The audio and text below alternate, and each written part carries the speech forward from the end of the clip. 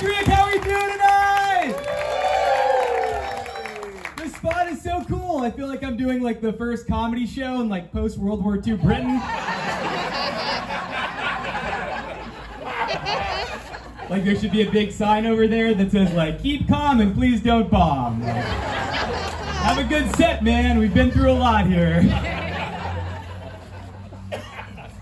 That's good to be here. I just got a haircut, guys. Yeah, you guys were like, well, I saw you before and it was time. Yeah, good work, barber. I think they went a little too overboard with the high top fade. Like, I can't pull this off, right? Like, I feel like the only way they can describe this look is like Fresh Prince of Tel Aviv. Can you imagine if Will Smith's tagline was like, Yellow Boa, he? That would really occupy your attention. you know? I don't like going to the barber. They ask too many questions, right? It's like, you're the professional, I'm the one who needs your help, right? Like, if I could get whatever sort of haircut I wanted without any checks and balances, I would always just get a bowl cut. just so I could understand what it felt like to be uncircumcised.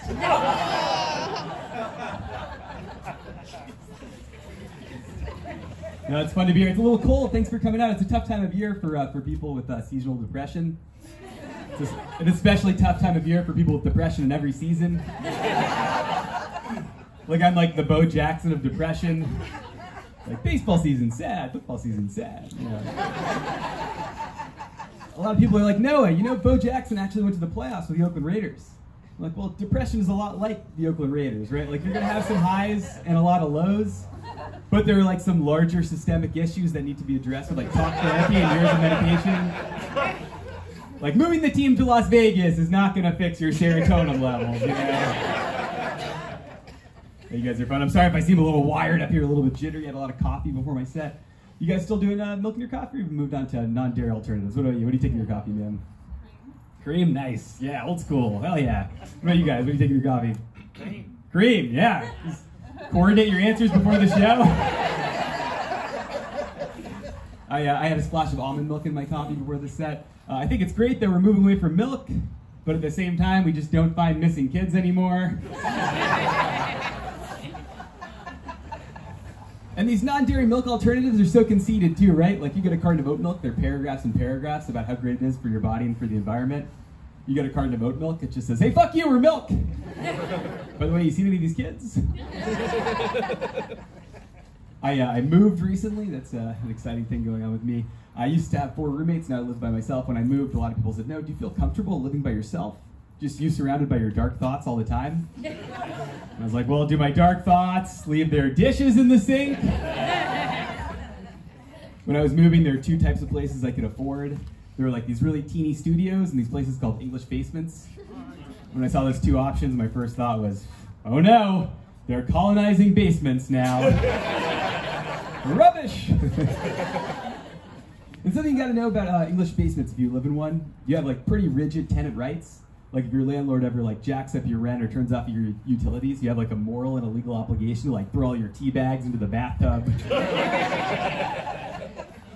I, uh, I chose the studio. English basements, there are a lot of problems. The, the British, one of them, and the other one, they flood a lot especially in DC. The first place I lived in, the basement flooded so much it was like rising up to knee level. We got really concerned and we called the fire department.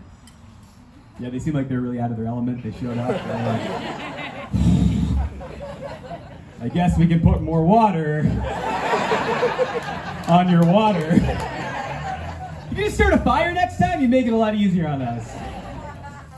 And I'm liking my studio so far. I've actually been passing uh, notes under the door with the, uh, the downstairs neighbor. It's been really cool so far. Um, when I moved in, she put a note under my door. She said, uh, Welcome to the building. I am your new downstairs neighbor. If you need anything, let me know. So I put a note under her door and I said, Thank you for your kind note. I'm your new upstairs neighbor. If you need anything, let me know. And she put a note under my door and she said, Thank you for your response to my kind note. I am your new downstairs neighbor. If you need anything, let me know.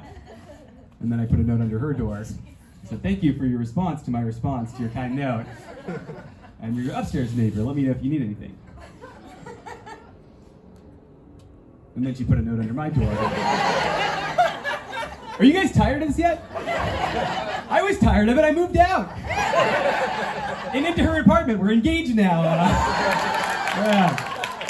We just sent out our wedding invitations. They say, Welcome to our wedding. We're the married couple. If you need anything. Oh, you guys are a lot of fun. I'll do some wholesome material. I've uh, been reading a lot of the Bible lately, and I'm here to tell you about it. Uh, there's one story I really don't like, and that's the Cain and Abel story.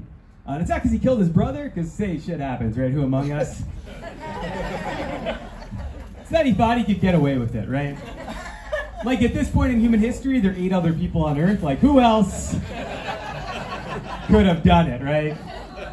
Like, Cain really thought he could sneak a fast one on God, right?